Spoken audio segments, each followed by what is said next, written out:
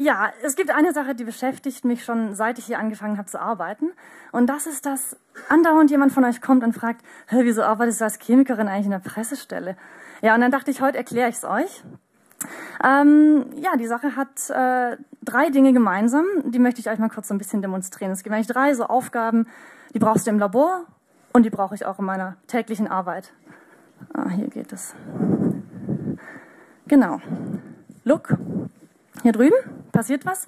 Ja, wir Chemiker, wir mischen gerne Sachen zusammen, das wisst ihr. Äh, wir haben da irgendwie so Flüssigkeiten und gucken dann, was passiert, wenn wir die irgendwo anders reinschütten. Ja, sieht ganz nett aus, ist irgendwie rosa. Hm, gefällt mir aber nicht so gut. Mal gucken, was passiert. Und wenn wir dann am Ende mit dem Ergebnis zufrieden sind, was Schönes haben, grünes Licht für die Forschung, dann gefällt uns das ganz gut. Ja, das, das Mischen ist auch in der Pressestelle ganz wichtig. Ähm, ich nehme so eine Studie von euch, gucke da ein bisschen rein, dann denke ich, hm, was ist eigentlich, äh, rufe ich euch mal an, äh, schreibe ein Zitat von euch auf, mixe es noch ein bisschen zusammen, recherchiere was und am Ende kriege ich eine Pressemeldung und hoffentlich gefällt ihr euch dann auch und hoffentlich ist immer noch alles richtig. Also ganz grundlegend die richtige Mischung. Ja, wir Chemiker, wir sind nicht nur im Labor, sondern wir haben auch so ein paar andere Probleme, vor allem die theoretischen Chemiker. Das sieht dann so ein bisschen unschön aus und wir sagen uns dann, boah, hm, also das hier oben, das nennen wir mal Nabla, dann tun wir da unten irgendwie noch ein bisschen was vereinfachen. Das ist H, das ist E und am Ende kriegen wir dann was raus, damit, ja, kann, denkt jeder, kann damit leben. Ist nett, ist einfach, kann man mitarbeiten.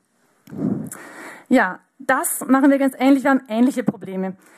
Ausgehend von einer Hypothese eines Worst-Case-Szenarios erfolgte Definition von bla bla, Evaluation, Berücksichtigung relevanter Faktoren und so weiter und so fort. Klingt super, voll gut, ist bestimmt alles richtig, aber ist ganz ehrlich, also für den Laien sieht es so aus. Und wenn der Laie sich das mal so ein bisschen vertont, dann klingt es so. Und damit wir diesen Effekt bei euren potenziellen Kunden eben nicht hervorrufen, machen wir dann so schöne Sätze wie, das Fraunhofer ihr hat herausgefunden, dass satte Mitarbeiter leistungsfähiger sind als hungrige. Zum Beispiel. Nette Message, versteht jeder.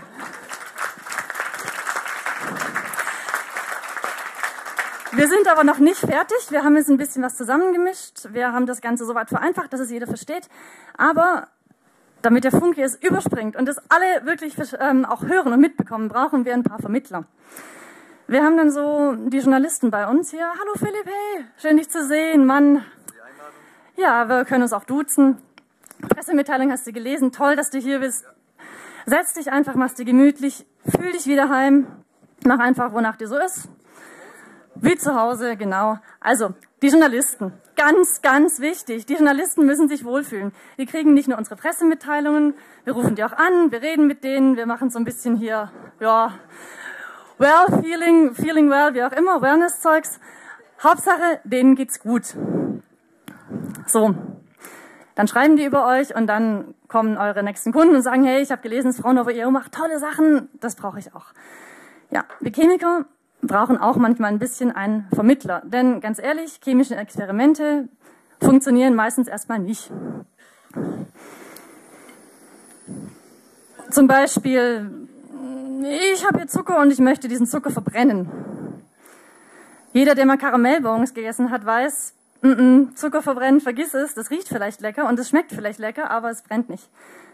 Aber der Philipp hat mir netterweise ein bisschen Asche hinterlassen. Und mal gucken, wenn ich das da reinmische, so als Vermittler, wir nennen das Katalysator in der Chemie, aha, vielleicht tut sich dann ja was. Ruhig großzügig sein erstmal. Gucken, was passiert. Ja, und so ist es in der Chemie. Es funktioniert nie auf Anhieb. Aber muss eigentlich immer noch ein bisschen nachhelfen. Ach, komm schon.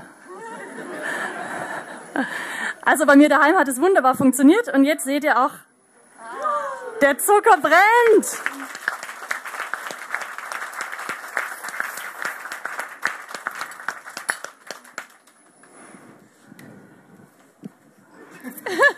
Das war's.